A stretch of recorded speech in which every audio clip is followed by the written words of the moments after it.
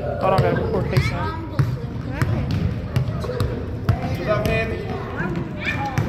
Go, Garrett. Go.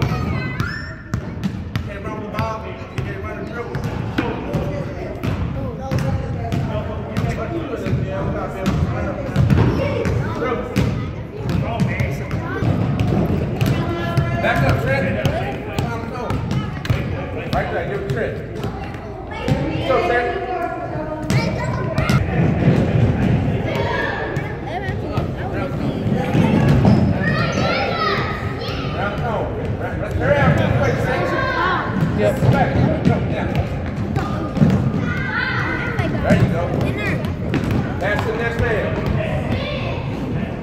Right there. Go, Josh. Pick it up. Go, Josh.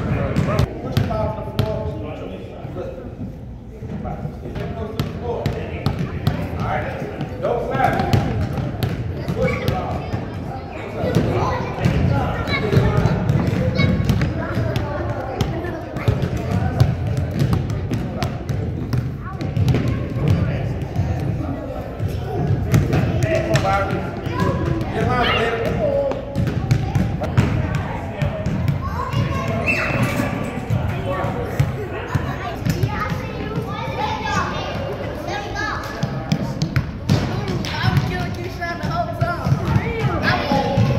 pretty good with this hand, though.